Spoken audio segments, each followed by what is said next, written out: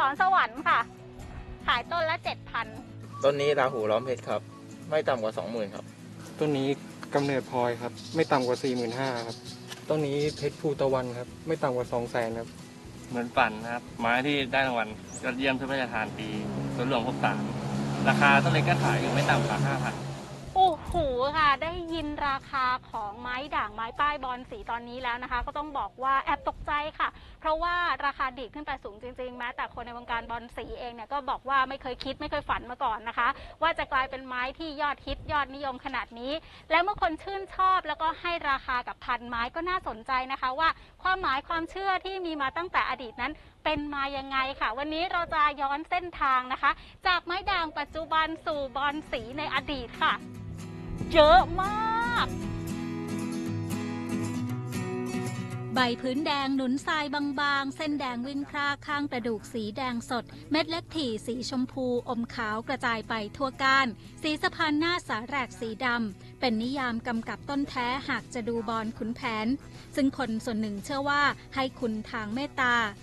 หนึ่งในบอลสีตับขุนช้างขุนแผน ซึ่งมีไม่น้อยกว่า 90 ชื่อตามตัวละคร ตั้งอิงจากสีสันใบและก้านที่ปรากฏ เช่นกุมารทองใบพื้นสีทองปนเขียวหนุนทรายแดงม่วงม้าสีหมอกใบพื้นเทาแกมม่วง หูถ่างคล้ายกับใบผักน้ำเราต่อกันว่านายฟ้อนหลังวัดจางหวางพ่วงให้ชื่อมาแต่เดิม ล้วนเป็นเกร็ดความรู้ที่ย้อนกลับมาสู่สวนมาลัยทอง ที่ผสมพันธุ์บอลสีมาไม่น้อยกว่า 30 ปี และยามนี้ขยายพันธุ์จากการศึกษาบอลสีสายวงเดิมทำให้เห็นว่าเกือบครึ่งของบอลสีตับขุนช้างขุนแผน ตั้งชื่อในรุ่นราวเดียวกัน หรือบอกถึงการจำแนกบอลสีเมื่อเกือบ 90 ปีที่แล้ว แต่ก่อนเนี่ยบอลสีเนี่ยเขาจะเล่นกันเฉพาะในรั้วในวังคนคนธรรมดาเราเนี่ยเลี้ยงไม่ได้เลยครับเขาจะเล่นกันอยู่ในรั้วในวังโดยเฉพาะเลยครับ ราะว่ามันเป็นไม้ที่เขาเอามาจากต่างประเทศครับ ตอนนี้ผมยังเพิ่งจะขยายพันธุ์ไปนกเล็กรัตนจักรก็มาตั้งแต่สมัยรัชกาลที่ห้าถ้าเราจะเอามาเข้ากับรวมผสมพันธุ์สายพันธุ์ใหม่ๆนะครับ มันจะได้ทุกต้นแหละครับ แต่ว่าคือเราหาสีหาความแข็งแรงของเขามาให้ได้ก่อน แล้วเราก็เอามาผสมให้เป็นตัวใหม่ขึ้นมา ใช่ครับที่ราคามาแรงพอๆกันเลยที่บางต้นบอลเก่าว่า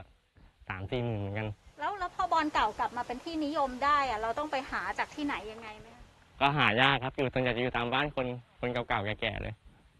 ที่เขาเลี้ยงไว้เป็นจนเป็นกอใหญ่เลยอะเรียกว่าว่านกวักโพทอง อันนี้กวักโพเงิน อันนี้คือม้าสีหมอกสามตัวเนี้ยเป็นกลุ่มบอลสี ที่ถูกเลี้ยงมาเป็นว่าน การปลูกบอลสีในสังคมไทยมีหลักฐานว่าย้อนไปได้ถึงสมัยอยุธยา บางชนิดมีค่าเทียบกับว่าน หรือแฝงคติในการปลูกเป็นของประจำเรือน เช่น กวักโพเงินกวักโพทอง มีใจความในจดหมายเหตุชาวต่างชาติ บันทึกว่าพระราชอุทยานของพระเจ้าอยู่หัวที่เมืองลบบุรี ได้มีพืชต่างถิ่นปลูกประดับไว้ มีผู้ทูลเกล้าวถวายจากเมืองชวา เมืองจีนแหลมมาลายูและอินเดียตอนใต้ เชื่อว่ามีบอลสีหรือบอลฝรั่งอยู่ด้วย ส่วนพระยาวินิตอนันกร โตโกเมศบันทึกว่าปี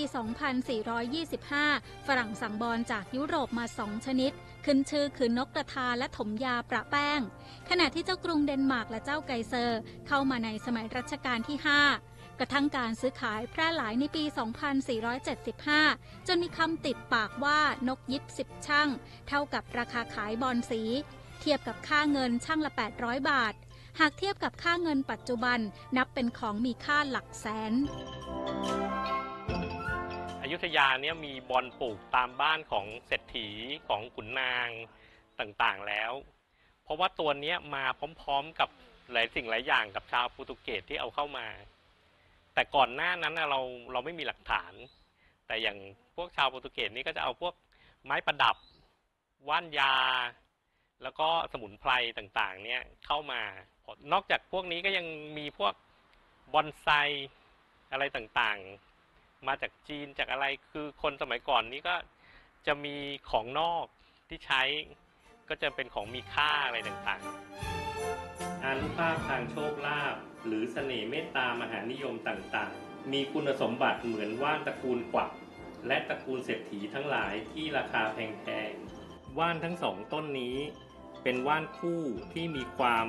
นิยมปลูกมาช้านานแล้ว ความหมายที่มากับบอลสีและว่านแต่ละชนิด รวบรวมเป็นตำราพิมพ์เป็นเล่มครั้งแรกๆ ในปี